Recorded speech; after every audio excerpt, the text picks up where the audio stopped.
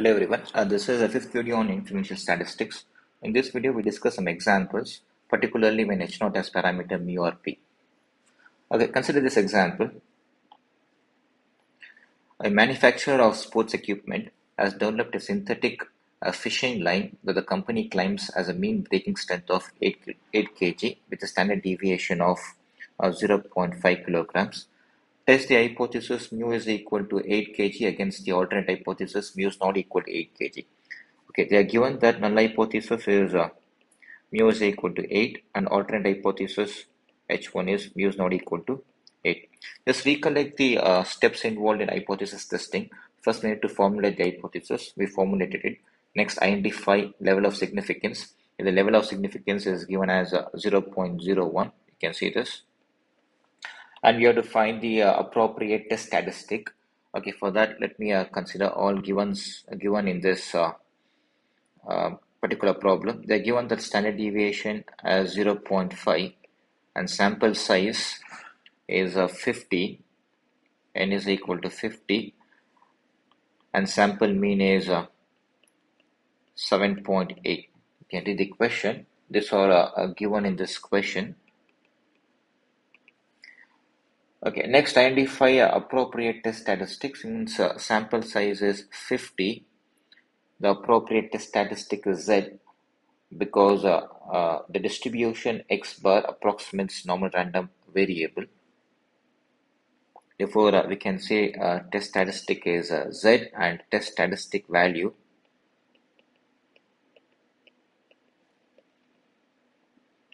Z naught is nothing but X bar minus mu upon sigma divided by root n uh, which is uh, equal to uh, 7.8 minus 8 upon 0.5 divided by root 50 and this is approximately uh, minus 2.83 uh, this is a test statistic value. Uh, next is when to identify critical region. Okay let's see this. Is this two tailed test or one tailed test? Look at this alternate hypothesis mu is not equal to 8 and thus it is a, a two-tailed test in Z test. Uh, if I draw the diagram of normal distribution, you get this. If this is a 0.01 level of significance, uh, this point is Z 0.01 divided by 2 that is we get 0.005 and this point is minus z 0.005 and we reject the hypothesis that is null hypothesis if z is uh, greater than that is z naught is greater than uh, this number or less than this number. Uh, we know that uh, this value is a uh, 2.58 and this value is minus 2.58 uh, clearly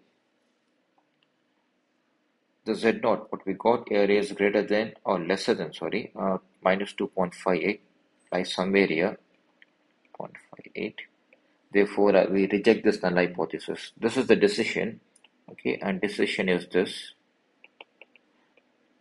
Uh, reject h naught. Okay. Uh, since the point uh, z z naught lies in critical region we reject h naught. And for confirmation you can find p value uh, p-value is nothing but uh, this area plus I, I find uh, due to symmetry the area occupied okay by this shaded region is also uh, same as this. And uh, sum of this to gives p-value which is 2 times probability that z is lesser than minus 2.58 uh, which is approximately 0.0046 uh, clearly, this area is lesser than uh, significance level, and significance level is uh, 0.01. Yes, our decision is correct. Uh, we reject null hypothesis. It's clear from this as well. Okay, this is stronger than this. Uh, if this is uh, significantly lesser than 0.01, we reject null hypothesis. Uh, let's go to next question. A random sample of 100 recorded deaths in United States during the last year uh, showed an average, average lifespan of 71.8 years, assuming a population standard deviation of 8.9 years. does this seem to indicate that the mean lifespan today is greater than 70 years? Okay, then we need to show, okay, we need to, they ask a question uh, whether the mean lifespan is greater than 70 years. Okay, uh, we assume that mean lifespan is 70 years. We consider this as null hypothesis. And uh, if this is rejected, we need to show that this is greater than 70 years. This is alternate hypothesis. And given what is significance level, which is 0.05 in this case, you can see this question. And population standard deviation is given as 8.9. And uh, sample mean is 71.8 and sample size is 100.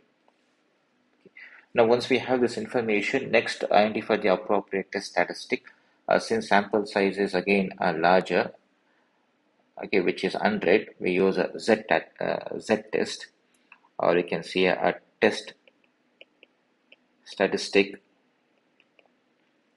is Z, and which is equal to a, a x bar minus mu upon uh, sigma divided by root n and test statistic value is this.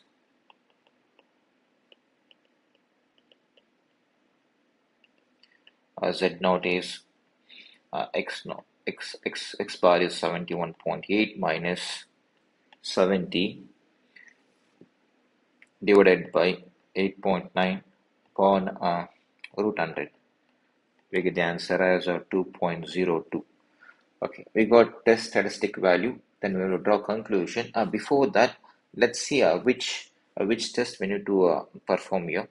Uh, since alternate hypothesis is uh, mu greater than of 70 we have to consider one tail test particularly upper tail test.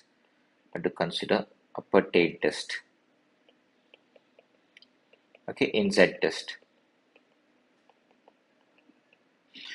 Upper tail test if I draw the diagram of uh, distribution is if this is critical value and critical value is denoted by z alpha and alpha is 0.05 in this case uh, this leaves an area 0.05 to the right of z 0.05 and if I know this value and if this z naught is inside this critical region which is shaded then uh, we reject the null hypothesis otherwise we don't reject the null hypothesis Okay, what is the value of z 0.05? Uh, let's see this. Uh, from this clear, from this picture, it's clear that 1 minus phi of uh, z 0.05 is uh, 0.05. This implies phi of z 0.05 is equal to 0.95. Uh, you can check from the table, normal distribution table, uh, when the value is uh, 0.095 sorry 0.95 and the corresponding z value is this therefore I can write it here. Z 0.05 is I think it's 1 points okay let me uh, check this. Distribution table. It's somewhere here. Yeah I got the distribution table 0.95 okay already highlighted here. You can see this. Uh, it lie between uh, 1.64 and 1.65 let me consider this as 1.645 okay this is z naught value and clearly z naught uh, is uh, lesser than or greater than greater than 1.645 z naught lies somewhere here okay uh, it is inside the critical region and the decision is we uh, reject H naught. And we can also confirm this by finding the p-value. And p-value is a probability that uh, Z is uh, greater than or equal to 2.02.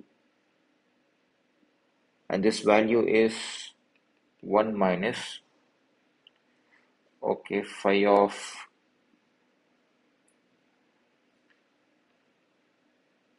2.02 and this is approximately okay I'll write it here this is approximately um, 0 0.0217 okay you can verify from the table.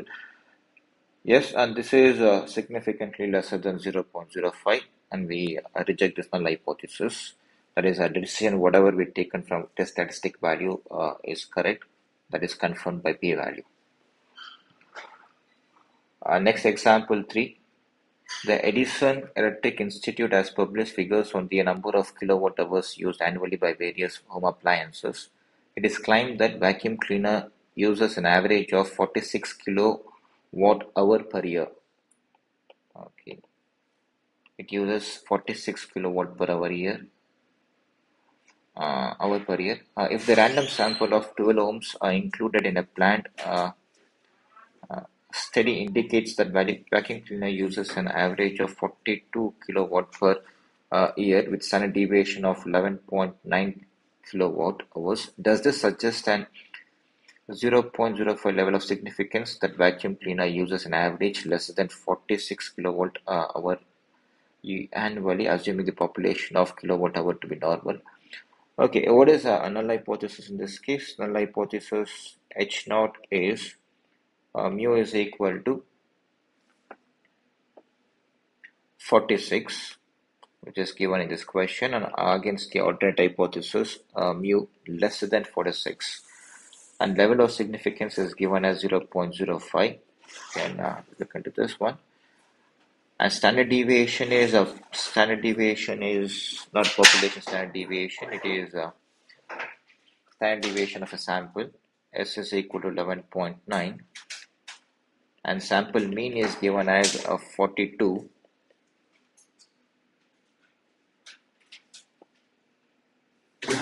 yes. Okay uh, that's it. This is uh, given in the question. And from this alternate hypothesis it's clear that uh, we have to perform a, a lower tail test. And test statistic is t distribution. Okay we have to consider t distribution. Test statistic is a t uh, because sample size is smaller and sample size is 12 and population standard deviation is not given. For test statistic is t and test statistic value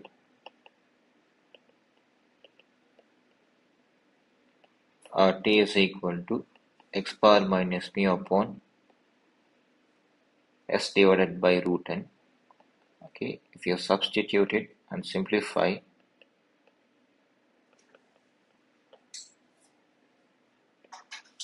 we get the answer as minus 1.16 okay we are doing one tail test. Uh, this is lower tail test right? Lower tail test in t-test okay, and the, this diagram of distribution is this. And we reject it if the t value whatever we find is in this critical region. And critical value in this case is t uh, 0.05 comma. And degree of freedom here is uh, 12 okay like this let me write this as 11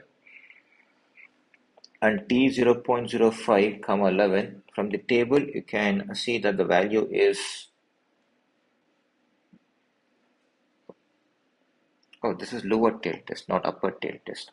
Sorry for it has to be a critical values minus t 0.05 comma 11 okay and reject it if uh, t value is in this critical region. And critical value from the table we can see that the value is uh, minus 1.796 and clearly the T naught a test statistic value is greater than uh, minus T 0.05 comma 11 okay? because it lies somewhere here outside this critical region Thus, we uh, do not reject null hypothesis. Decision is this.